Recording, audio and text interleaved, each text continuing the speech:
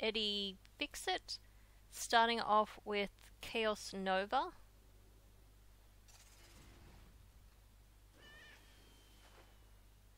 Fel Immolate.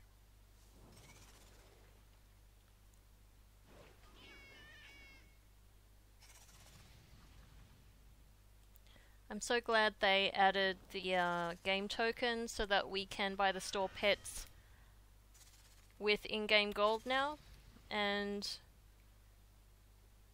makes me wonder actually how many people are actually using that to pay for their subscriptions as well. Okay, so stone skin.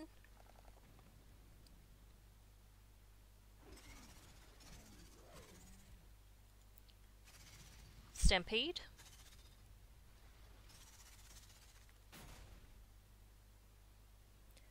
Son of Skum, which is one of the pets from the Wailing Caverns Pet Battle Dungeon.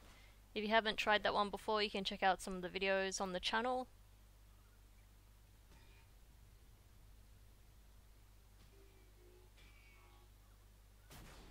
One of the major disadvantages of that one, though, is to get the um, the elemental pet. It's actually a big case of RNG because there's a chance to get it in one of the reward bags. So, yeah, that's another good thing about the other two pet battle dungeons.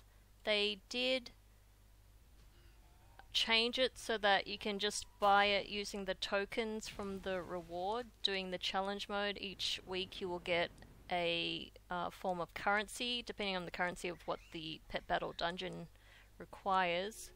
But yeah, that is just so much better than having to wait every week just to see your luck. If you're feeling lucky that week. That's one way to get sick of the pit battle dungeon really quickly. So once again, just have to live through one move. Oh. Nice job, Snowy. So, I'm faster. Oh, didn't even have to bother. Alright, well there you go. Second last down, one to go, and I'll be done with this little tamer. So thanks for watching, and I'll see you for the next video.